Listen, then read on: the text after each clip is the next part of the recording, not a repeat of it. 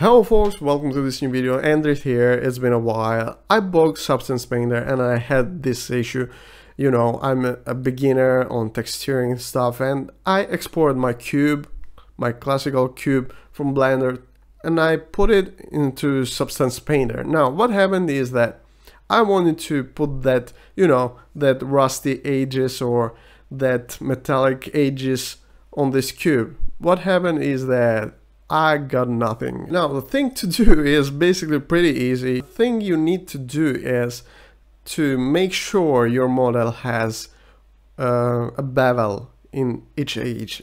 In each age in which you want actually to have, you know, rusty and the curvature map um, will be recognized on that edges.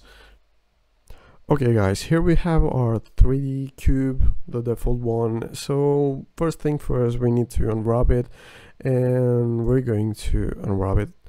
Actually, somehow 3D now just unwrap it automatically when you add it, but we're going to do that as well because we need to learn something like that. And I think that it should be something like this we need this thing as well that one. It should be fine so basically select. And mark seams select everything. You unwrap it and here we are. So basically just let's go and export our model in the z frame here. Solid. Okay just select it go to file export and we're going to export our FBX once here just give my cube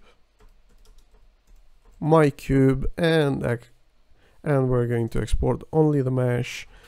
And obviously let's go and export FBX now if I go on substance painter here I'm going to create a new one going to select the metal roughness here and and just select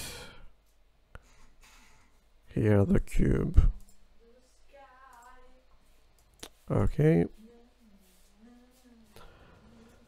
And now what's going to happen is that if I go and bake the textures here mesh mesh maps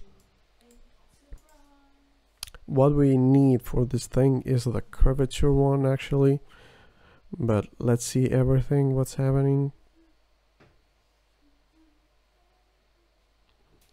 And you'll see that something something we're going to get here. So curvature and we pan it rotate. You see that we got just this one. Okay we're going to do this thing just to make sure that you're getting what what is happening. Add a fill. Make it red. This red here. And we're going to modify the roughness. And here we're going to add some pure brass. I don't know. I want this pure brass here. I'm going to add a mask a black mask and here we're going to add a generator and and the metal age.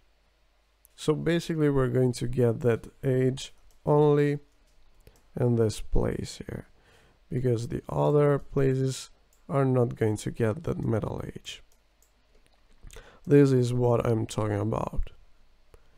So what I'm going to do now is go in blender select your mesh select every edge and just go and add a modifier, a bevel. And here just go up to 9 and reduce you know the amount of space basically. So this way where you're going to get uh, that the kind of sharpness but you're going to have more geometry here. So just go and export this thing again. Select everything. Export like FBX and you need the mesh. And you need to apply modifiers as well in geometry. Once exported going to create a new file here. Select that. That cube that. Cube here my cube. One change the dimension of the mesh and here we are. Now like you can see here we have our cube. You you you can basically see that there's more geometry here. And what we're going to do is bake again all the things we need. So start and the map's going to be a little bit higher and bake this thing again. See that each edge here has its own a wide line that's because our curvature map is recognizing its each edge because there's more geometry now we're going to do just a little test here. I'm going to add a fill layer. This fill layer is going to be, ah no, this yellow here. And we're going to change the roughness. Maybe a little bit this way. This time we're going to add this thing probably. I don't know. and we're going to put some iron here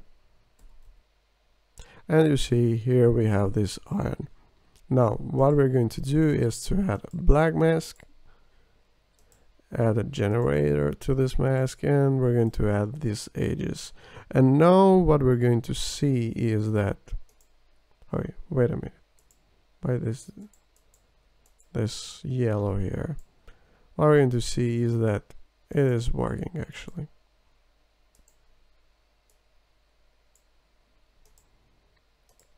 Now, this metal edge here.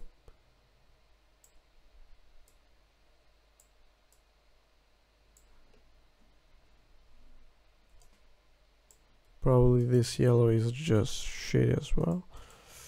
Let's let's put this, yeah. This one. Like you can see each edge here has its own ground effect on it. Like the color has aged and you can see underneath the color the paint. So Oh, okay guys this was very little video because I found it very frustrating when I started and not it was not working for me. So basically, and hopefully you you find some help in this video. See you next time.